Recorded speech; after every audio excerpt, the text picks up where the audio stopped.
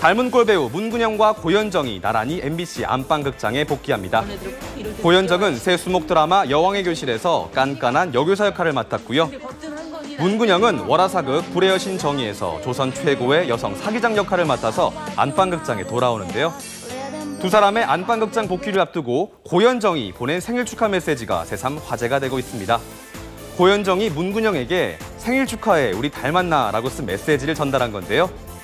닮은 꼴스타 고현정, 문근영은 이승기, 송승헌의 바통을 이어받아 원톱 여주인공으로 드라마를 이끌어갈 예정이라고 합니다.